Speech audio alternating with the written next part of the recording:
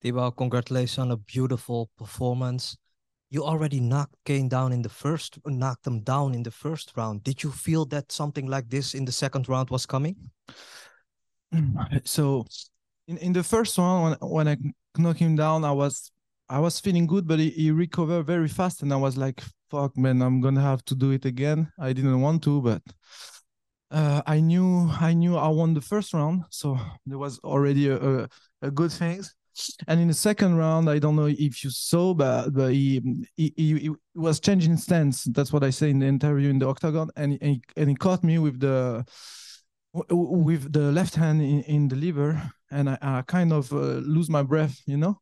So I start to to circle a little bit more and uh, to to to to get back in, in shape to, to fight back and uh, and then after it, it, it was my plan to let him come at me because I know he's a brawler so he, he used a lot of hooks like large hooks and I wanted to cut him on on on this we, we work on that with coach Lenny and Clement and, and, and Remy so that's what happened and I was happy so he's a very tough, durable guy. Hasn't been finished in Bellator. Oh yeah, I didn't know. Yeah, and a lot of people are saying this is gonna be maybe a decision fight because both of you are strong, but you knocked them out. How mm-hmm. much does that win mean to you? um, you know, I'm very happy. I, I just think um, I, I don't think it was about power or uh, something like that. I, I I I humbly think it was more technical, you know, and more uh, about uh, uh, being smart and, and using the game plan. You know, it, that was the game plan. I, I know it was gonna come and and and he did he was throwing some large hook so i tried to get him like i was close from the from the cage and i just was waiting for him and i just like threw the my hook and and i got him i think every french fighter almost won tonight yeah you spoke on wednesday and you said hey marseille where i live Yes. Also, a lot of fanatic French people. Yes. We should do an event there. Do you think that's a good idea? That's the best idea, man. Because I like Paris too. That's the that's the capital of France, you know. But Marseille is different people, you know. Marseille, they are real fanatic. Here too, don't don't.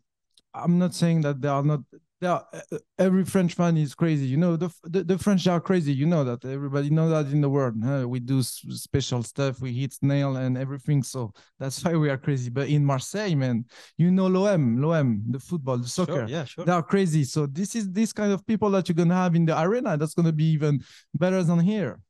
Last question for me, Thibaut. The next Bellator European event is Dublin, September 23rd would, uh, would, you like to be on that card, or do you think it's maybe too soon, or do would you like to see to be maybe on that card? I, I was going, uh, I was going going to tell you that there is no a Bellator even before September. Uh yeah. So I don't know. Maybe I'm trying to get my my P1 visa right now. So if I can get it before, I would like to fight like in three or four months. I need to check. I mean, I'm okay. I, I don't have anything. My nose is a little bit like you know uh, open but it was before the fight i did it in training but if i can only fight in europe for the moment i will come to dublin and fight for sure mm. thank you Bonjour Thibaut, euh, Shems pour le média Le Parcours. Tout d'abord, félicitations à toi pour ton combat. Euh, on était présent du coup au Bellator de l'année dernière ouais. où tu avais gagné. Euh, Qu'est-ce qui était différent globalement du Bellator de l'année dernière? Ben, je suis parti avec, un, avec mes deux bras. l'an dernier, il m'a cassé le bras, le mec. Putain, j'étais deg. Oui, ben, l'an dernier, j'avais combattu à 77, donc c'était différent. Et en plus de ça, l'an dernier, c'était un, c'était, un, lutteur.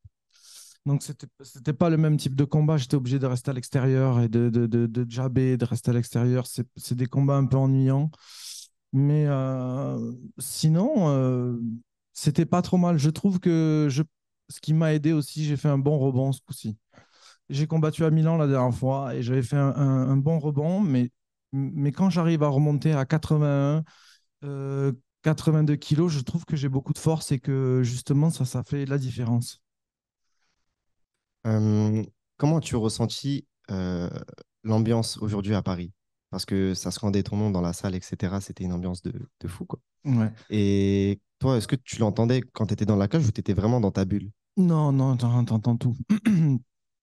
C'est bizarre parce que on dirait que c'est comme s'il y avait euh, deux, deux moments en fait dans le même moment. C'est-à-dire que tu t'es concentré tu vois l'adversaire en face de toi, il y a, on va dire, un, premier bruit sur un cercle euh, comme ça, un diamètre comme ça, et après, il y a un plus grand diamètre avec tout le public et t'entends le public. Et à chaque fois, par exemple, quand il y a des actions où tu touches, tu te fais toucher, ou par exemple, on tourne, il se passe un peu trop rien, le mec, il me touchait un peu, j'entendais qu'il commençait à chanter mon nom et tout. Du coup, ça donne envie et on l'entend et tout. Ouais, c'est super. C'est franchement, c'est magique. Hein. Je le souhaite à tout le monde. Bon, après, il faut faire, faut rentrer dans la cage. Mais bon, sinon, c'est génial.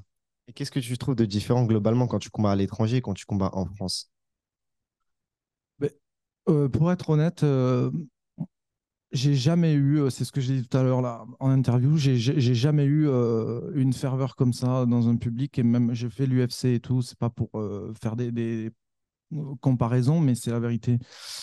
C'est juste que j'ai été dans des salles, j'étais au London euh, O2 Arena, j'ai été à Austin au Texas, été à Auckland en Nouvelle-Zélande, j'ai été au Canada, bon bref. Euh, c'est la meilleure salle que j'ai jamais faite. Deux fois d'affilée. J'étais à Milan la dernière fois, c'était bien aussi, mais ici à Paris, c'est incroyable. Ça fait deux fois, c'est incroyable. La salle est pleine, les gens ils sont fous, c'est incroyable. Et, je suis... et franchement, je suis vraiment c'est un plaisir partagé parce que le fait de mettre un, un, KO, vous savez, ou de donner du spectacle, les gens ils prennent du plaisir, on le ressent, vous savez, euh, c'est comme ça. Enfin, je sais pas si vous comprenez, mais c'est un échange comme ça. Et tu t'entraînais aussi aux États-Unis, mhm. j'avais vu des images, etc. Euh, quand tu t'entraînes en France et aux États-Unis, est-ce que tu ressens une grande différence de niveau? Alors, euh, j'en ai parlé la dernière fois quand j'avais fait l'interview.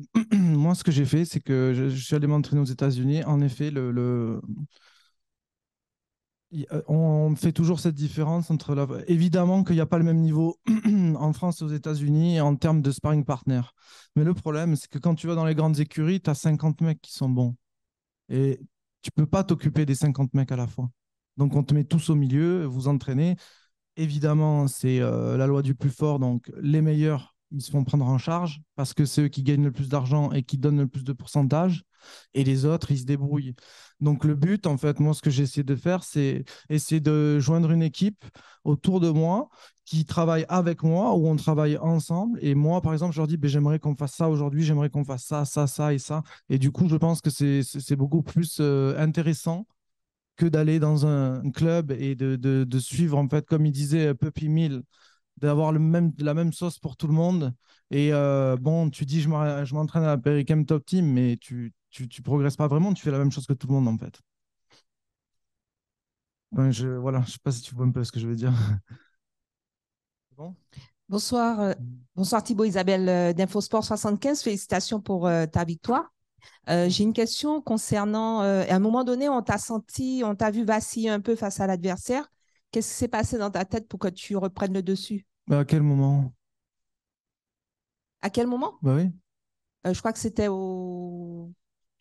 deuxième, où tu étais un peu. Ouais. Ouais. Bon, vous savez, c'est un combat. Hein. tu prends des coups, t'en donnes. Hein. Donc, peut-être que j'ai dû prendre un coup, que j'ai dû un peu euh, peut-être euh, vaciller, c'est ça que vous avez dit? Oui. Moi, je pense pas que j'ai vacillé, mais peut-être. Vous savez, des fois, quand vous prenez un coup, euh, c'est souvent aussi. Il y a une réflexion sur soi-même. Je me dis, putain, merde, j'ai pris un coup et comment je fais pour pas en prendre? Parce que si j'en prends plusieurs comme ça, je peux peut-être me faire mettre KO ou ça peut créer une ouverture. Donc, peut-être plus une remise en question, je pense. Mais je l'ai dit, ça, par contre. Il m'a mis il a changé de. Il s'est mis en gaucher à un moment donné plusieurs fois dans le combat. Et il m'a envoyé un coup avec sa jambe arrière et il m'a pris dans le foie. Il m'a coupé la respiration. Il l'a pas. C'est oui par rapport à, à ce moment-là. Ouais, voilà. Il voilà, c'est ça. Mais il l'a pas vu. J'avais l'impression qu'il l'avait vu, il l'a pas trop vu. Alors euh, tant mieux pour moi. Voilà. Euh, sinon, est-ce que tu as, tu as bien suivi ton game plan ou comment, comment ça Ouais, ouais, exactement. Oui, ben, je voulais en fait. Euh, ce que je voulais faire au début, c'est je, je, voulais jabber, je voulais jabber, rester à l'extérieur, voir ce qu'il avait en striking. Je voulais prendre un peu des coups, voir ce qu'il avait aussi euh, comme force, ce qu'il ce qui, ce qui, ce qui, ce qu'il amenait.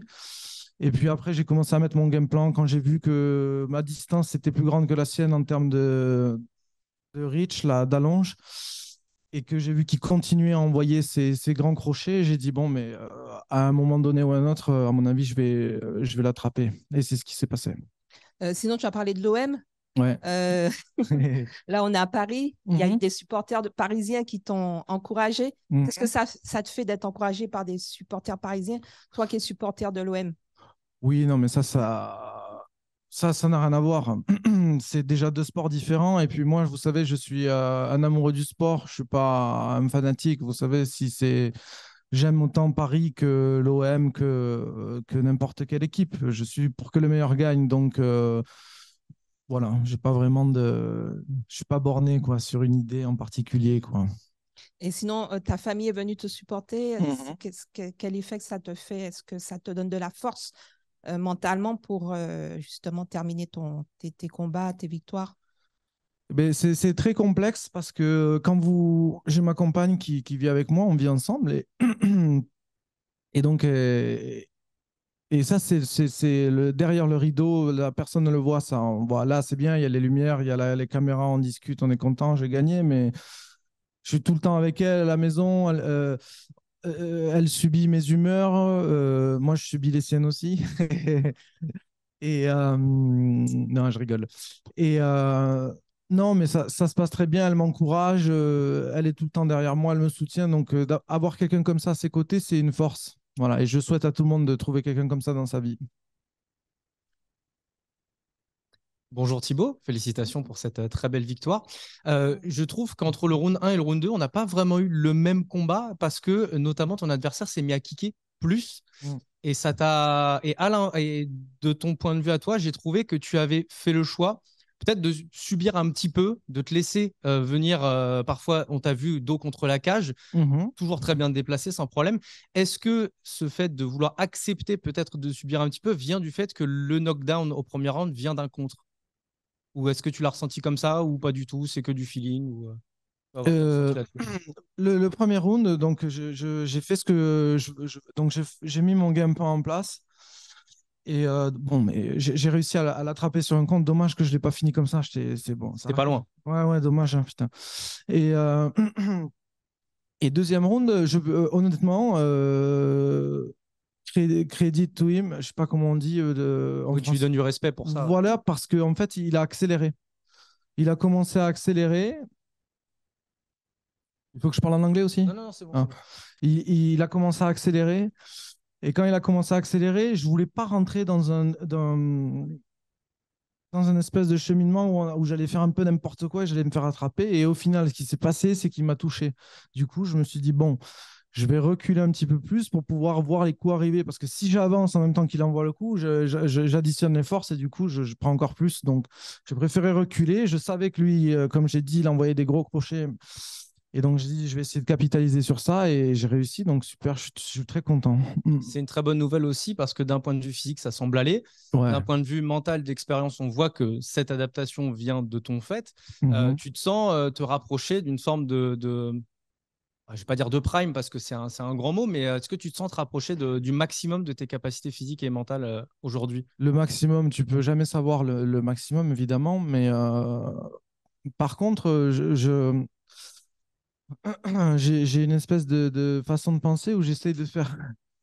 En fait, je suis un feignant, mais du coup, je fais tout au maximum parce que je suis un feignant, sinon je fais rien. Donc, du coup, en fait, tout ce que je fais, j'essaie de le faire le plus minutieusement possible parce que j'ai envie d'en faire le moins possible. Voilà, tu, tu vois, c'est un peu bizarre, hein c'est paradoxal, mais c'est comme ça, tu vois. Je préfère envoyer un coup qui va bien passer que plutôt d'envoyer 50 et, de, de m'épuiser, machin, parce que j'ai pas envie de, de, de m'épuiser. Je préfère, euh, comme tout le monde, la facilité, mais pour que ça soit. Quand ça a l'air facile, quand tu regardes, ça veut dire qu'il y a eu du travail derrière. Donc euh, voilà, quoi. C'est un peu paradoxal, mais c'est comme ça. Merci, je vous remercie.